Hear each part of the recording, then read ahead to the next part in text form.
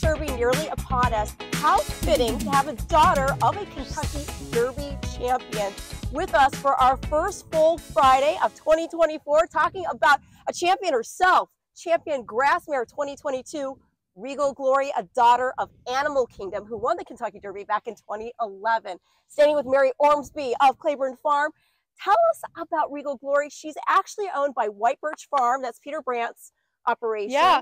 So um, I think I just want to kind of before we get into this, Yeah. kind of point out one of the things that we take pride in is just kind of doing the unusual and usual, doing the usual unusually well. I love that. and we have a long-standing tradition of kind of the way we raise horses, and I think, you know, we've had a good relationship with Peter for, um, you know, decades, and horses like this really are a testament to kind of that dedication to breeding and um, a love for the game and a love for racing. And I mean, this is just a perfect example of it. Well, that's something that I find fascinating because I, I don't know if a lot of people know this or not, but Peter actually bred champion sprinter breeder in won the Breeders' Cup sprint, uh, Gulch, Yes. and then he bred Thunder Gulch, who won the Kentucky Derby. Yes. And so with Regal Glory here, and this, by the way, is her beautiful into mischief filly who wants to steal hi. the show. She's just saying hi. Well, this is her first baby. Yes.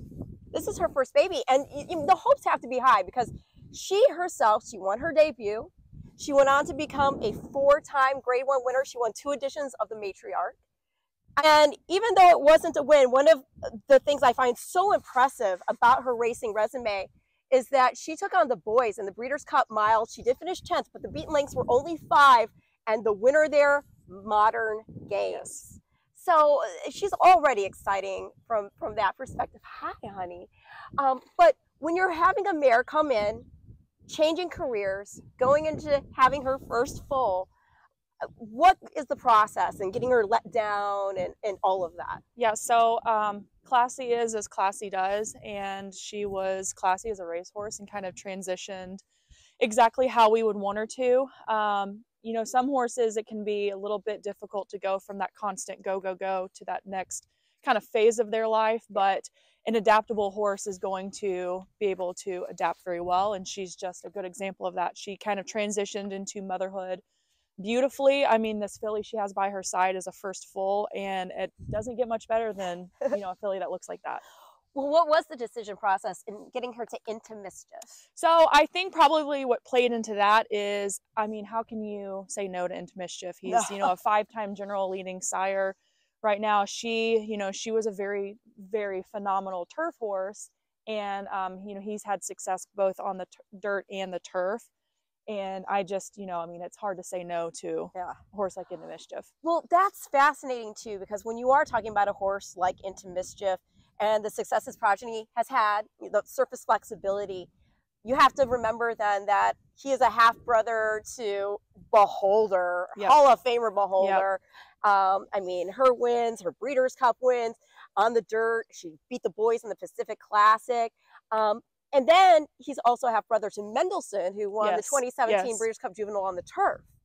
So you do have that uh, great uh. Oh goodness! She's like, get back over here, you little she's like, ham. she's like, stop messing with that. So this baby was born on January 25th. Mm-hmm. And I believe she was actually not only her first baby, but the first baby born here at Yes. Claiborne for 2024 Yes. season. That is correct. So off to a really good start. Um, kind of got us excited for the rest of the foaling season because I mean, like I said, doesn't get much better than this as a first foal and to have your first foaling mare being a maiden mare that has you know a baby like that is pretty exciting. Well, how did the how did the uh, birth go? Uh, you know, straightforward, easy, exactly what you'd want with a maiden. Now, uh, do you have? I mean, for people who aren't involved in horses, you know, where their hands on like this, hi baby, hi baby. Um, do you have like the camera set up? I'm night So- watchman. So we all of it. are very true to our roots and we're very old school with a lot of things and foal watch is one of them.